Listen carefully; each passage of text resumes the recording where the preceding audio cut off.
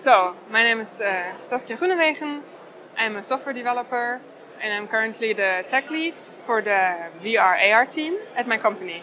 And the company is called Ordina and we make um, VR and AR software for training and performance support for other companies.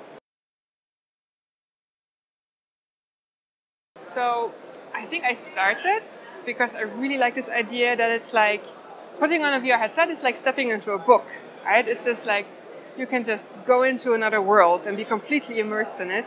And I thought it was really exciting, and I think that still excites me a lot about it.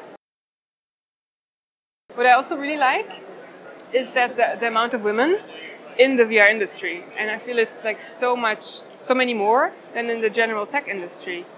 And they have really like close knit networks, and that's really nice, and a really nice atmosphere to work in. Learn uh, C Sharp and Unity. I think start to like build a build a little game yourself in Unity or in Unreal, and then see if you like it.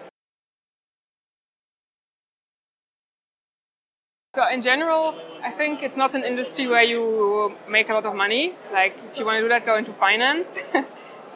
um, because the hardware isn't quite there yet.